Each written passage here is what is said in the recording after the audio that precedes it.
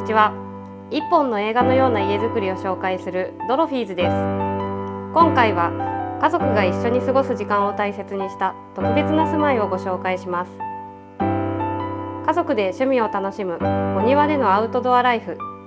そして家事が楽になる工夫が詰まった私たちのおすすめの住宅スタイルをお届けします。それでは一緒にこの素敵な住まいを見ていきましょう。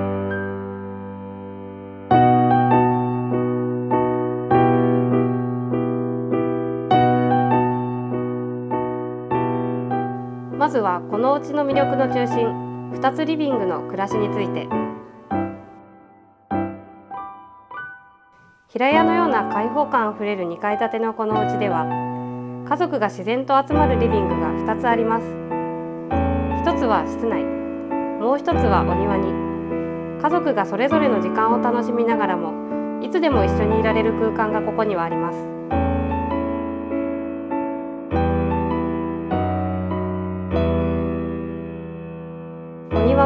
お家のうちの特別な魅力の一つリビングとお庭をつなぐ土間には薪ストーブがありお庭にいながら家族でキャンプ気分を味わえますお子さんやご主人が外で遊んでいる様子をキッチンから眺めながら奥様はゆったりとした一人時間を楽しむこともできますよ。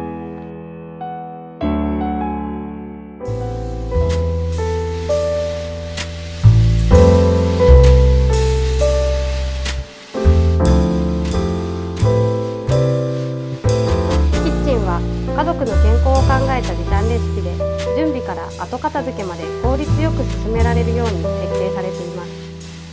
自然光が降り注ぐ明るい空間は気分も上がりお料理がより楽しくなるはず。対面式のカップボードは奥様の趣味に合わせたデザインでパン作りなどの趣味の時間も充実します。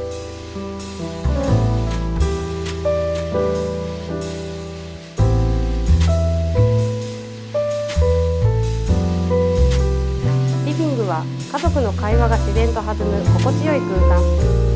勾配天井の開放感とシークの床材が温かみのある雰囲気を演出します。ここでは家族みんながリラックスして過ごせる時間が流れます。家事をする時もこのお家なら毎日軽やかな気分で続けられます。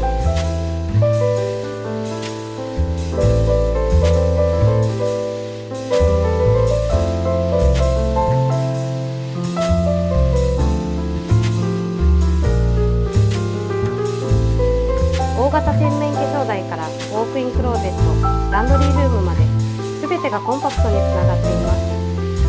日常の月を散りばめたデザインも魅力的。家事の時間が短縮され自分時間をもっと楽しくもっと快適にお過ごしいただけます。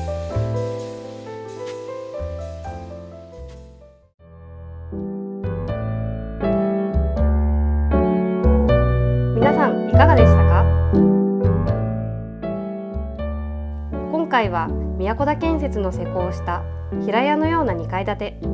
中とお庭に家族が集う2つリビングの暮らしをご紹介しました。家族との時間を大切にしながらそれぞれの趣味やリラックスタイムも楽しめるそんな素敵な住まい。